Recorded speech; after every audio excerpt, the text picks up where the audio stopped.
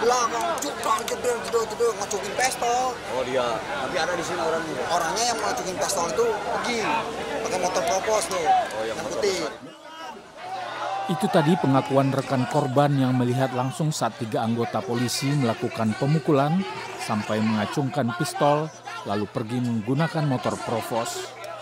Tak terima salah satu anggotanya diperlakukan seperti itu, anggota ormas lainnya kemudian ramai-ramai menggeruduk gedung perguruan tinggi ilmu kepolisian di Kebayoran Baru, Jakarta Selatan.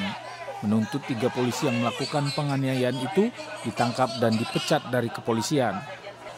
Kapolres Metro Jakarta Selatan, Kombes Bastoni Purnama, yang datang ke lokasi mencoba meredam keributan dengan mengajak korban dan perwakilan pimpinan ormas bermusyawarah.